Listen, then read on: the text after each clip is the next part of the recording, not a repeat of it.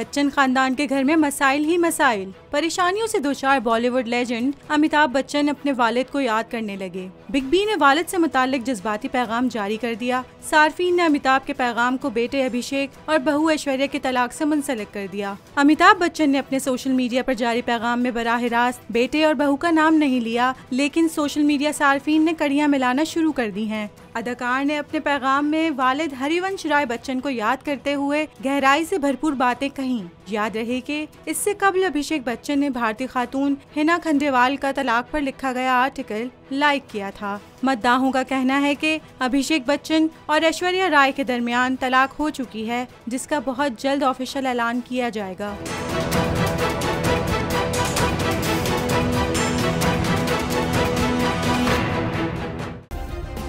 Subscribe करें और bell दबाएँ ताकि कोई खबर रह न जाए।